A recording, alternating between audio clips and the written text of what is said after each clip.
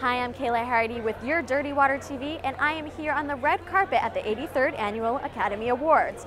The set is complete, the votes are in, and the red carpet is ready to be unveiled. So we'll see you at the Oscars. I usually don't know what I'm doing until at night when I look at my Blackberry and I look at my calendar. So I'll look at it now, and I will tell you exactly what I'm doing. 7:45 car pickup, 8:45 call time at the Kodak Theater, 9 a.m. rehearsal till noon. Hair and makeup from noon to 2:15. 2:15 walk the red carpet. 2:30 call time here.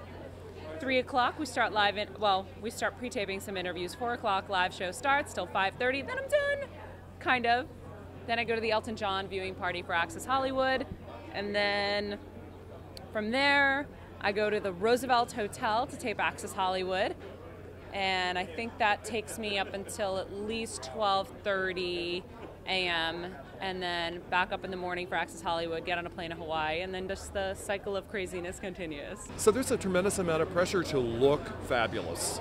So what risk taking there is um, I mean, if you reflect upon uh, Tilda Swinton at the 2008 Oscars, where she wore that Lanvin cocoon of sorts, I loved her in that because I really believe that that's who she was. I was also eviscerated for giving her support. People said, Who else could wear that? I said, I don't know that anyone else could wear it, but no one else has to. She did.